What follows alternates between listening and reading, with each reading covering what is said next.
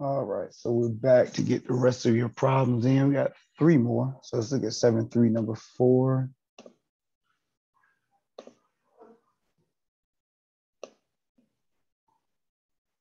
So true false test has 140 questions, passing grade is 63% or more. Uh, correct answers. What is the probability a person will guess correctly on one true false question? So you're just talking about the probability that a person will guess correctly should be 50%, right? On one true false question, should be 50%. 0.5, yep. Probability that a person will guess incorrectly on one. Once again, 0.5 because it's just true or false. All right. Approximation. Who passed the test? Using normal approximation. Probability who was just guessing what the test is 20.63.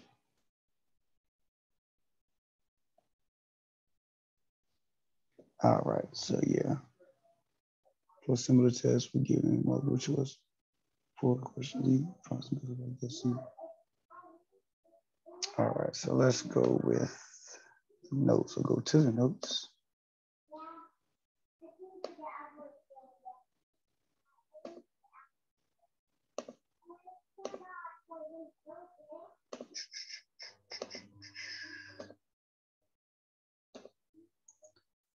All right, so let's go here. We know that um, P hat is 0.63%, 63%. P is 0.5. We need our standard error. P times one minus P over N, square root of that. So that's 0.5, 1 minus 0.5. And what was, got 140 questions. So of that.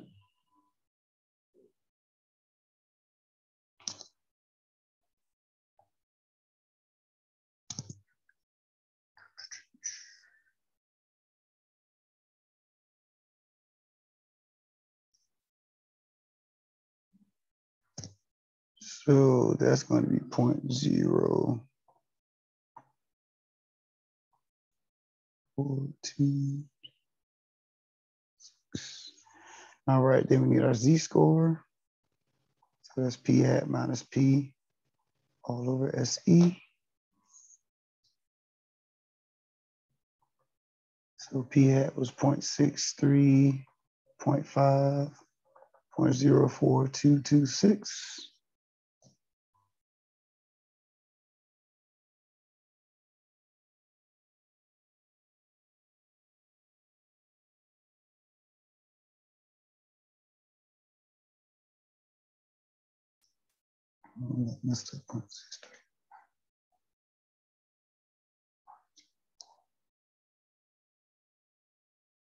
Okay, 3.08 got me a high number.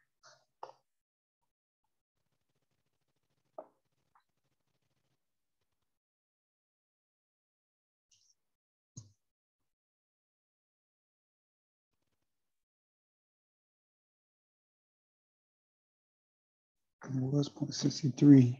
Yep, okay. So we hit the chart.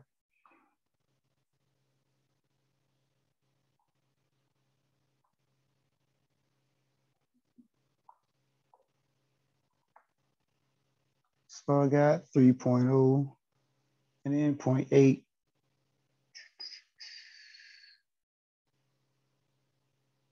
This is what I have right here, 0.9990.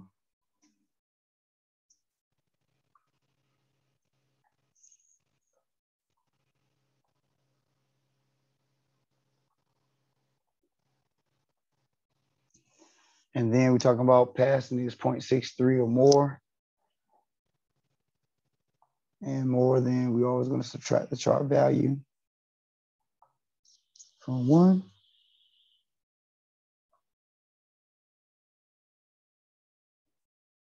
So let's see, one minus 0.9990. Yep, just making sure. Let's see if that's the answer that MathLab wants. Yep, that was good. All right, if it's similar test was given multiple choice question for which question?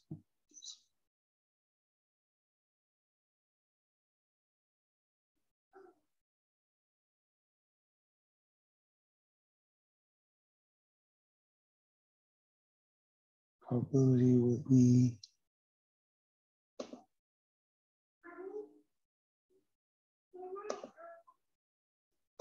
All right, so let you know, I'll show you this right here.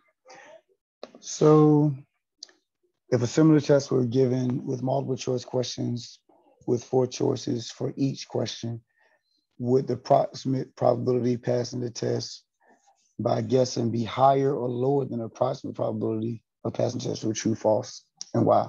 It would be lower because the probability of guessing correctly on each question is lower when there are four options. So, you know, remember we had a 50% chance, right or wrong, true or false.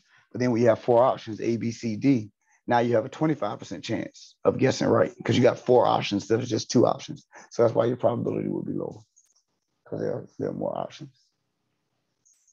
All right. So that's seven, three, number four. And you put me to work today. So we got uh, two more and then we'll be good.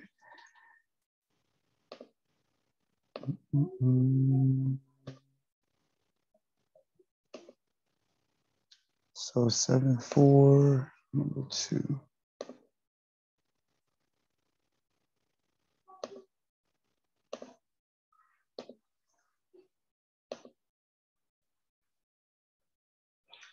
Right, in a simple random of 1,100 young people, 89% had earned a high school diploma.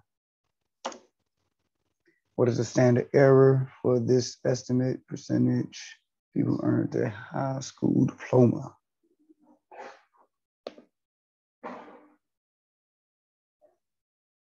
Okay. So we have random sample of 1,100 young people. 89% earned a diploma.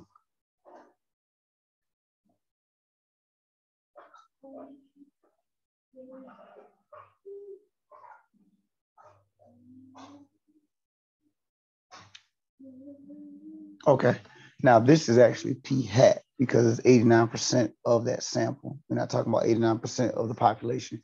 If it was 89% of the population, then that would be P. This is P hat.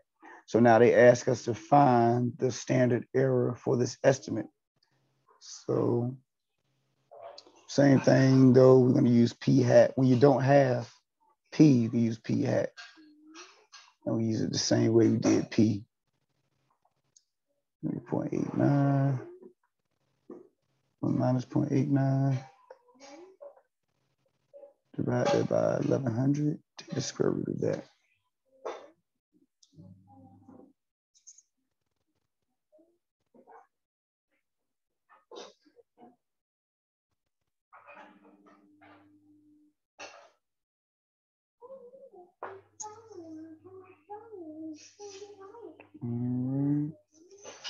So I am getting 0.00943.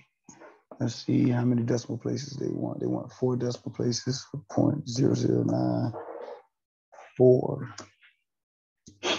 All right. Find the margin of error with a 95% confidence level. Excuse me. Seven four. Okay, so this goes back to show you the margin of error. Here's my chart.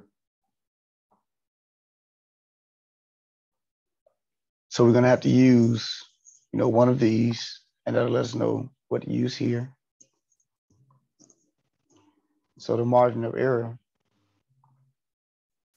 is this calculation right here. We can take our sample uh, error estimate, which is what we just found, and multiply it to, it says 95%, I've already got it circled, 95% confidence interval, which is 1.96. So if they wanted the 90% confidence error, error uh, confidence level, we would use 1.645. If you wanted 80%, we use 1.28.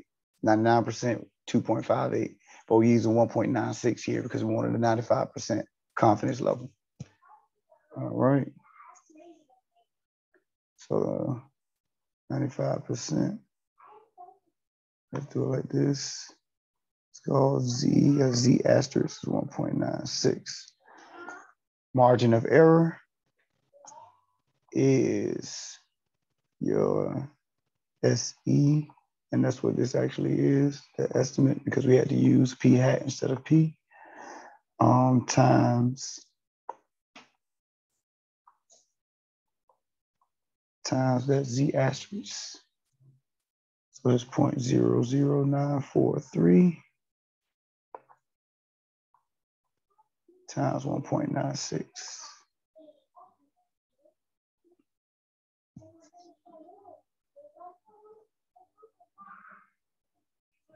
Point zero one eight four eight. See how many decimal places they want. Oh, so convert it to a percentage. That's 1.848%. And they want it one decimal place. So it should be 1.8%.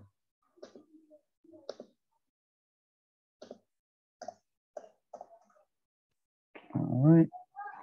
Confidence interval for the percentage. So that should be adding. So to get your confidence interval, um, me go another color. Let's go red. It's going to be p hat plus or minus your margin of error. And that comes back to here. P hat plus or minus your confidence, a margin of error, excuse me. So that's going to be on the 89%. Where we at? Where we at? Yep, 89%. Plus minus 1.8%.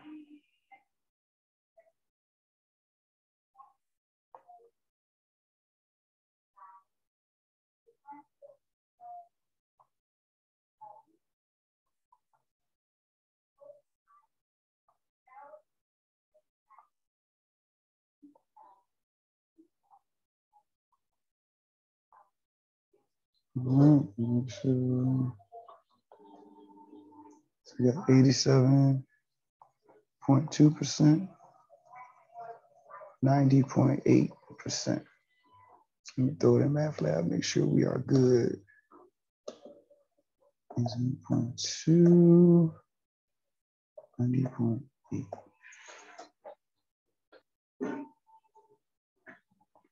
All right, suppose that the pairs 80% of you.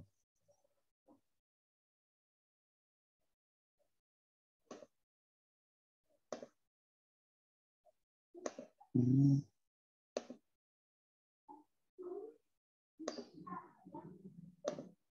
All right, so let me show you this last one, last question. Suppose that in the past, 80% of all young people earned high school diplomas, does this confidence interval you found in Part C support or refute that claim that the percentage of young people who earn high school diplomas have increased? So the interval supports this claim because 80% is not in the interval, not in the interval, and all values are above 80%. So everything has increased. You know, this interval has increased uh, compared to what was done in the past. So if 80% was still in the interval, then it wouldn't support a claim because you know, we're still there.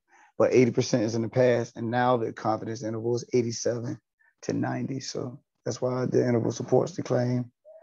And that's because 80% is not in an interval. All the values are above 80%.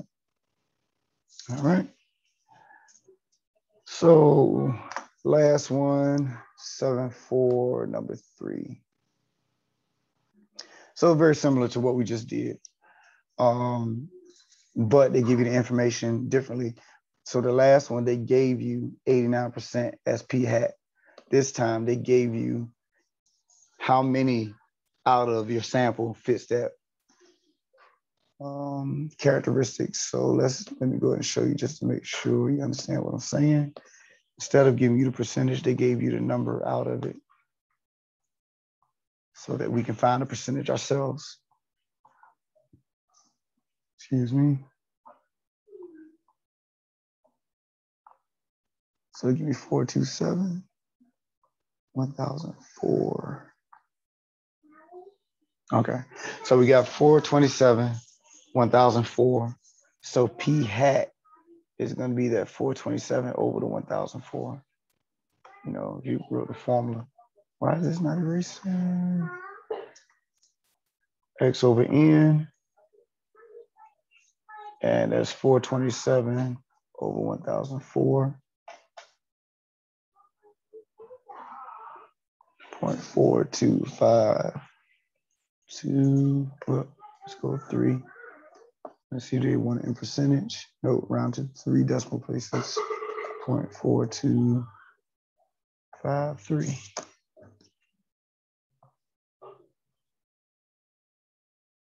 Hold on, did I write something wrong? 427 divided by 1004. What you you say that? Poll asked me on whether closing logo would hurt civil life. Said it would hurt a lot. So trying to see. Oh, rounded three decimal places. I thought it said four. Okay, my bad. Three decimal places. All right. So let's look at the next one. Find a confidence interval 95%. So we have to go through that process that we just did in the last one. 95% confidence interval. So first thing we need to do is to find our SE. And this is going to be our SE estimate because we don't have the actual proportion of the population. So we got to do P hat.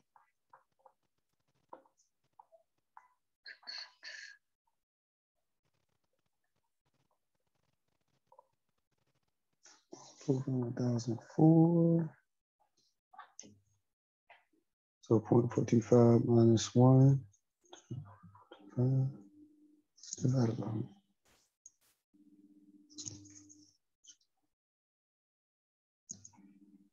the SE is 0.0156601.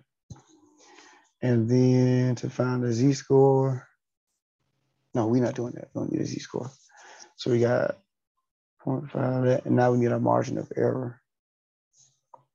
Let me do this. We're looking for a 95% confidence interval. So it means we're doing 1.96 again. And make sure we're doing 95%. Yep, 1.9 again. Then we're looking for the margin of error, which is your SE estimate times Z asterisk. Remember, this is Z asterisk right here. So that's 0.015601 times 1.96. So it's going to be 0.01497. Okay. So we're going to take P hat to find a confidence interval. This time they wanted in decimal value. Last time they wanted in percent. And he tells us to round to how many decimal places? Still three. So we have 0.425 plus or minus 0.014. I'll go ahead and round it to five since we're doing three decimal places. Of course, once again, this is this right here.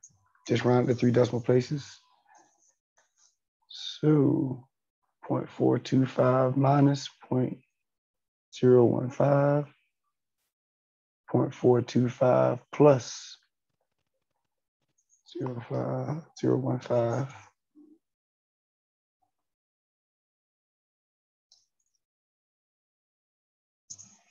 Mm-hmm. So point four one in here.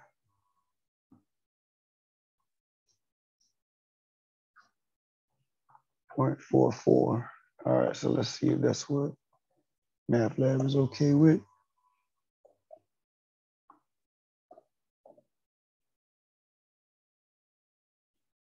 All right.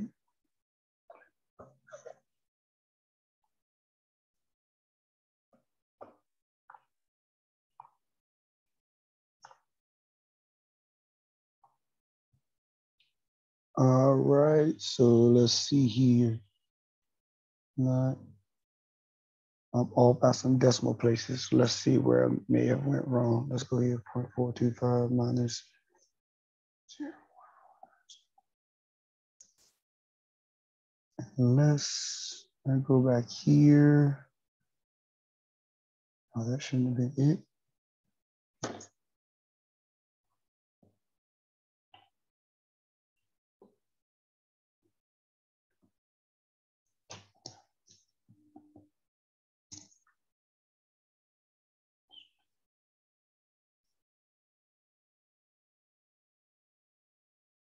Hold up. I think I might have messed up right there. Hold on.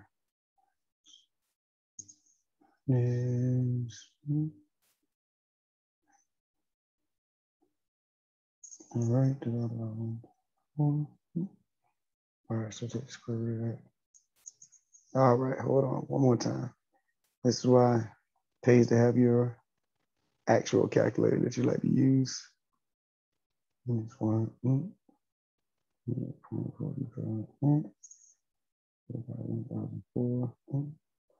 Square root of that.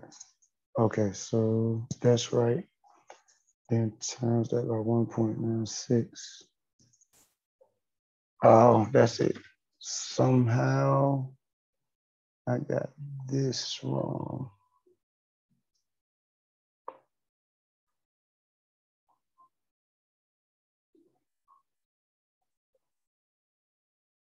Now let's see if that makes the difference. It should, I mean, not if it makes a difference, that most definitely will make a difference. 145. And that gives me 394.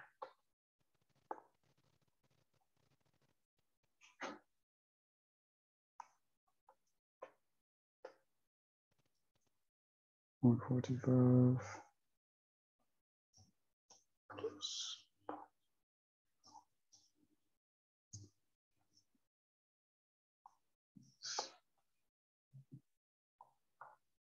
So, yep, that's it right there. So I messed up on calculating this part. I don't know how that happened. That was the easier calculation, but it's not land. It's not like I'm doing it by hand, but you know, that's how it happens sometimes. So 0.425 minus 0.030 Yeah, so got those two. Okay, let's see what the next step is. So then they ask you about a 80% confidence interval. So this time your confidence interval, not 88. That means your C asterisk is going to be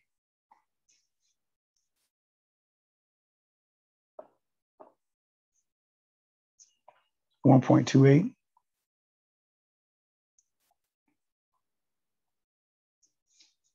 And so you need M, which is P hat, not P hat, um, standard error times that. So 0.015601 times 1.28.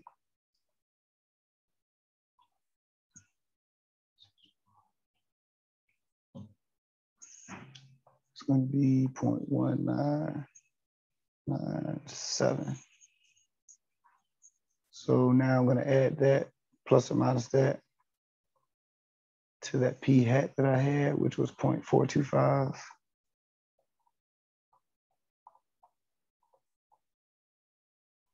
So subtracting and adding it, should get 0.225 here.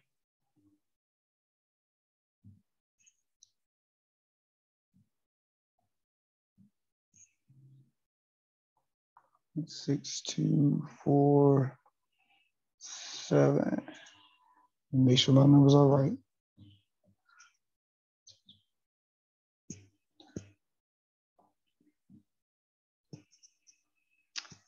Uh-huh, and I left off a zero. I thought that was too funny compared to what we have been doing. Should be a zero right here. Change that.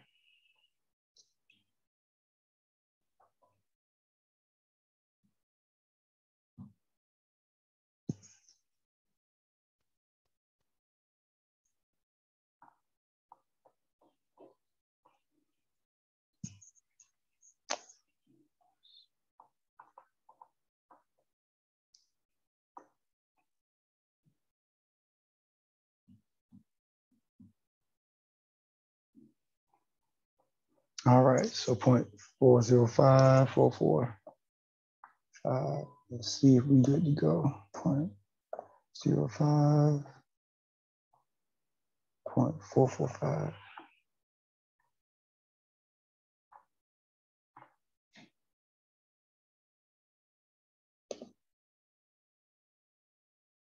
So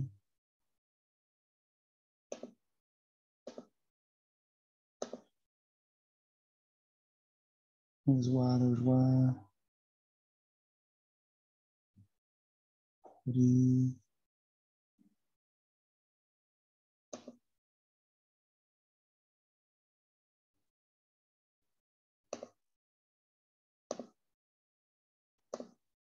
All right, so for the last one, 95 says which interval is wider and wide? 95% interval is wider. To get a higher degree of certainty, the interval needs to be widened. So, all right. So there you go. There are your problems. I'll send you both videos in a few. Let me know if you have any questions. Take care.